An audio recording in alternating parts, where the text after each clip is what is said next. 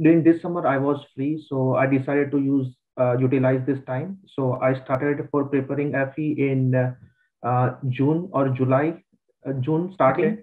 and I uh, gave this exam in probably two months. Okay, that's pretty impressive.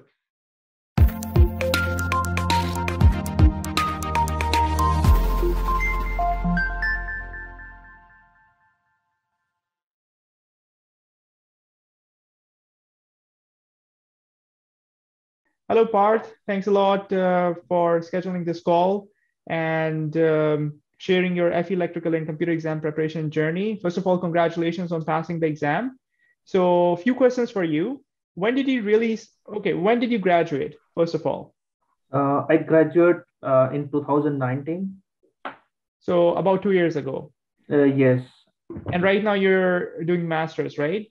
Yes, I'm pursuing master's in electrical power from University of Southern California, Los Angeles. Okay, good. So, uh, what motivated you to uh, take on the FE exam? Like, uh, did did someone tell you about the benefits, or you wanted to get it done and you know increase your chances of getting a good job? Uh, yes, actually, when I came to US, I heard from some of my seniors that FE and PEs were useful for getting job and it will open more opportunity uh, than without license candidate. So at that time, I decided to give my FE exam, and I am uh, planning to give my PE exam very soon. Okay, so let, let us uh, walk through your journey. So when did you really start your exam preparation? How many months ago? So during last summer, uh, during this summer, I was free, so I decided to use uh, utilize this time. So I started for preparing FE in uh, June or July, uh, June starting, okay.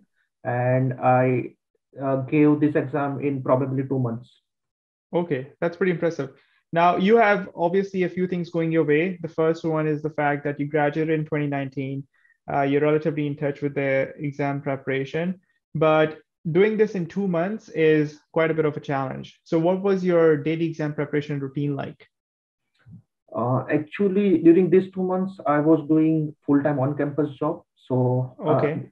So uh, around eight hours. So after my on-campus job, I was preparing for FE exam. So I refer study guide and uh, uh, video lectures, and I I also give some of uh, quiz at the end of the lecture. So I think these two material helped me a lot in this exam. All right. So we'll get to the exam preparation resources. But so with eight hours of work, so you were basically, you said that you were free, but technically you were not free because you were still working full time, right? Mm-hmm. Uh, it was just that you were free from school at that time. So mm-hmm. you're you're putting in 40 hour work weeks, right? And on top mm-hmm. of that, you're preparing. So this is something that most of my students do. They have full time jobs or they're studying full time uh, graduate studies. So it's it's really tough. So on a daily basis, how many hours and even on weekly basis how many hours were you putting in? And how were you uh, managing your time? I spent around 5 to 6 hours per day. Wow that's that's yeah. intense. And i use sun, uh, weekend full day. So on weekend like can, can i assume like 8 to 10 hours per day? Yes yes yes. Okay and you did this for 8 straight weeks right? For 2 months. Yes continuously. Now this is something that some of the students would be able to do, but probably not everyone, uh, which is uh, putting in this much amount of time and effort. But the good the, the benefit of doing that is that if you can pull it off in two months, then you don't have to study for four or five or six months. Okay. Yeah. So congratulations again on doing that.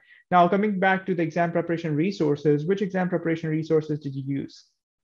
Uh, so I use only two materials. One is the video lecture by you uh, and I also refer study guide. So that's a black and blue book in the background? Yes, black book. Okay. So with the video lectures, you basically mean the online course, uh, the on-demand yes, course that contains 150 uh, lectures. So how did you use the on-demand course? Uh, so I decide to complete one chapter in two to three days. Then I give quiz at the end of the lecture. Okay yes so by this way and at the end of uh, all the lectures i uh, repeated uh, the chapter which i feel i'm not comfortable okay. then I gave two practice exam at the end of the this course. Yeah, there's a bonus full and computer simulated practice exam at the end of the course. And how did you use the study guide? Were you using both of them at the same time, or you completed the course and then study guide? No, at the both uh, same time. So you were doing one lecture and then the problem set in the study guide, and and you continued that for 150 lectures and all the topics in the study guide. Yes. Correct. So which topics, in your opinion, Parth you were most concerned about when preparing for the exam? Uh, I think software engineering. Software okay. engineering is uh, difficult because I am from electrical background, so I okay. never learned about software engineering in my undergrad so how did you how did you approach it? That's that's i'm asking this question because a lot of my students who basically go through these interviews they're like okay wasim asked for the most difficult question uh, topics and like how did they prepare for it right? So software is amongst like computer systems control controls sometimes digital systems and computer networks. It rates one of the highest right? So what was your approach? Knowing that okay you're not strong in software and your background is not in software how did you tackle it so first of all, I saw whole the uh, whole lecture series around like there are around 15 lectures on security as well as the software testing.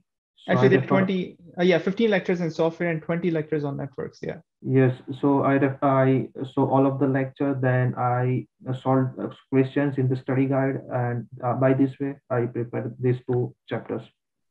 Now, when when it came to the actual exam, obviously we cannot discuss exam specific questions, but which topics you found most difficult? Same software engineering. So your and algorithms.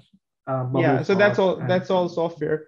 So your your uh, your you putting in more time into software hopefully helped you manage it a little bit better as compared to what it would have been if you had not put in that much amount of time, right?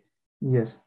So in terms of uh, time management during the exam uh, part, how early were you com- able to complete the morning session and the afternoon session? How did you manage time during the exam?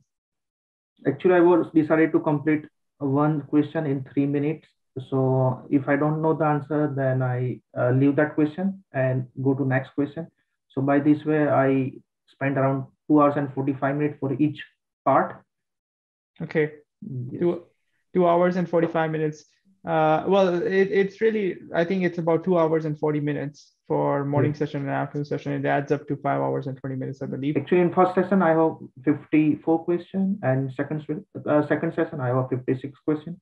Okay, I see. Were you pressed for time? Were you like, okay, you know what? I have to just now just randomly uh, find some answer, you know, select some answers.